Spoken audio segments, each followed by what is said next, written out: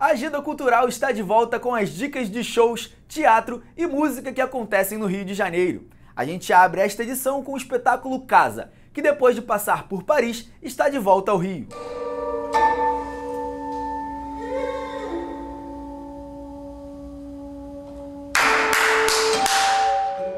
O espetáculo mostra a relação da dança com o teatro do movimento e trata sobre o corpo que habitamos, a nossa casa.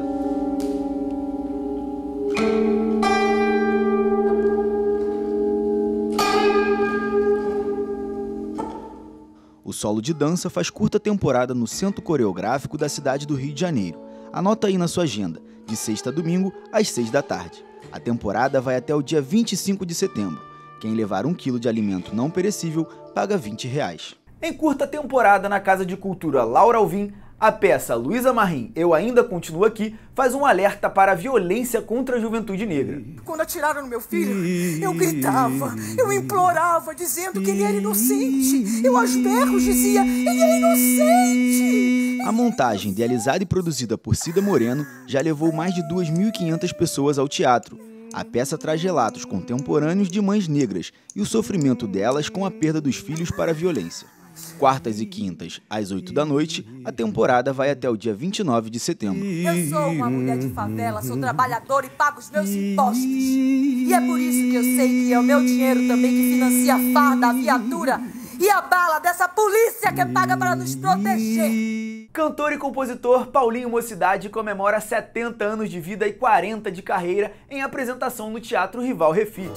E você é toda delícia, menina malícia, é fogo, é paixão, rainha da arte do amor, deusa da sedução.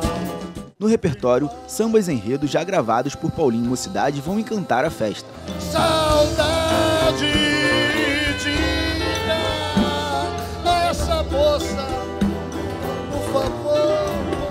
como foi sincero o meu amor, o quanto eu adorei.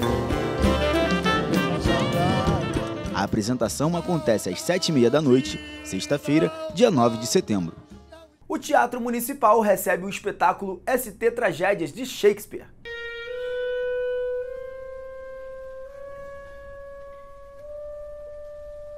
O espetáculo reúne duas obras de Shakespeare, acompanhadas por poemas sinfônicos de Tchaikovsky, Romeu e Julieta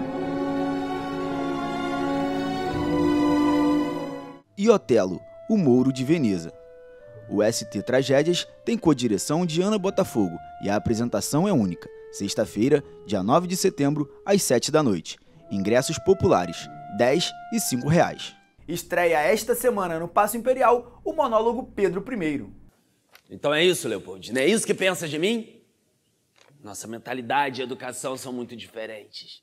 No bicentenário da independência, o monarca que desfez laços com a coroa portuguesa e transformou o Brasil em nação está de volta aos holofotes. Agora, resgata a figura histórica para refletir sobre a eficácia do seu governo, os atos impulsivos e o machismo. Dom Pedro bate em Leopoldina.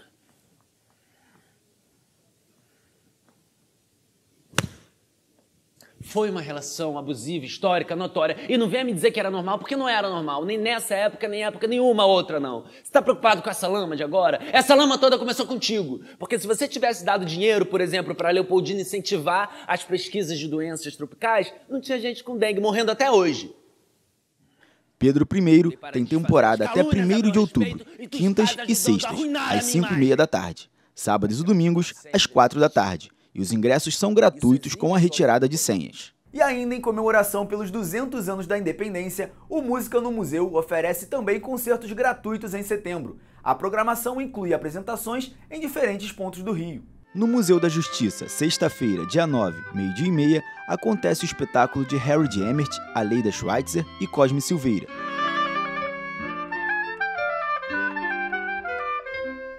No dia 13, terça-feira, meio-dia e meia, tem a apresentação no Paço Imperial, com Lula Pérez no violão.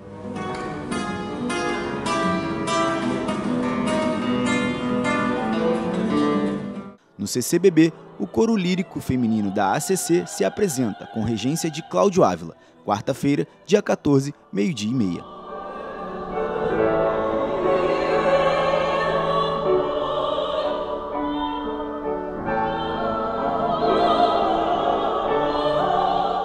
Agenda cultural fica por aqui, mas semana que vem a gente volta com mais dicas de espetáculos no Rio de Janeiro. TV Alerge, o canal do povo.